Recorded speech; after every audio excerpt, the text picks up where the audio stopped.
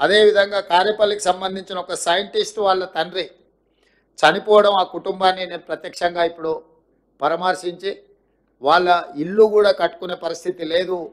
ఆ కుటుంబానికి ఇందిరమ్మ ఇల్లు ఒకటి మంజూరు చేయమని కూడా అధికారులకు అదేవిధంగా మంత్రి గారికి సూచన చేయడం జరిగింది.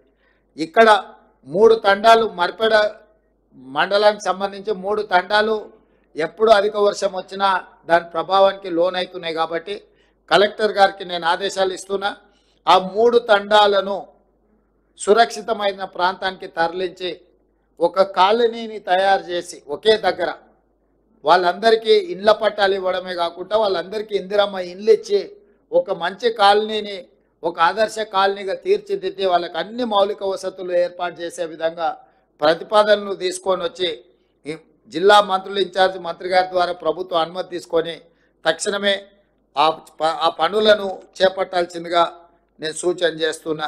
దాని మీద కూడా నివేదికలు తయారు చేసుకోవాలి.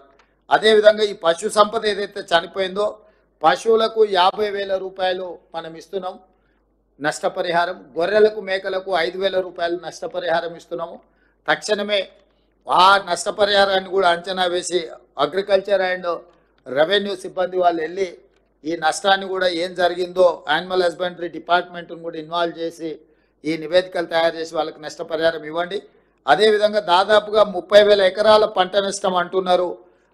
అగ్రికల్చర్ సిబ్బందిని కూడా గ్రామాలకు వెళ్ళి ఇంకా ఏమైనా అధికంగా ఉందా ప్రజలకు ఏం నష్టం జరిగింది రైతులకు తక్షణమే చూసి ప్రతి ఎకరాకు పదివేల రూపాయల నష్టపరిహారానికి ప్రతిపాదనలు పంపించి తక్షణమే సహాయక చర్యలను కూడా చేపట్టండి.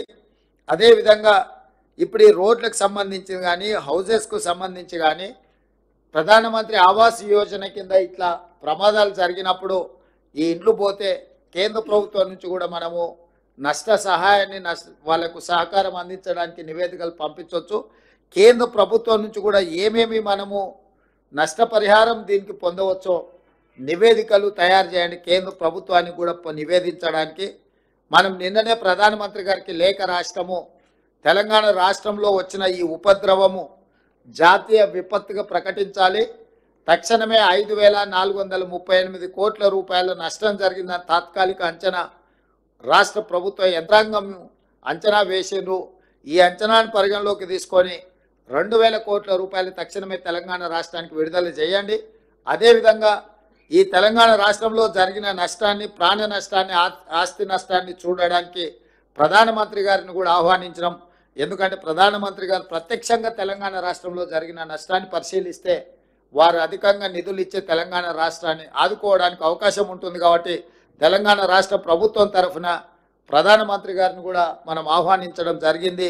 ఒకవేళ వారు పర్యటనకు వస్తే వారికి నివేదికలు అందించడానికి మహబూబాబాద్ జిల్లాలో జరిగిన అంచనాలను పూర్తి స్థాయిలో నివేదికలు తయారు చేసి ప్రభుత్వానికి పంపాల్సిందిగా ఈరోజు నేను కలెక్టర్ గారికి ఆదేశాలు జారీ చేయడం జరుగుతుంది. అదేవిధంగా ఇప్పుడు మీరు ఇచ్చిన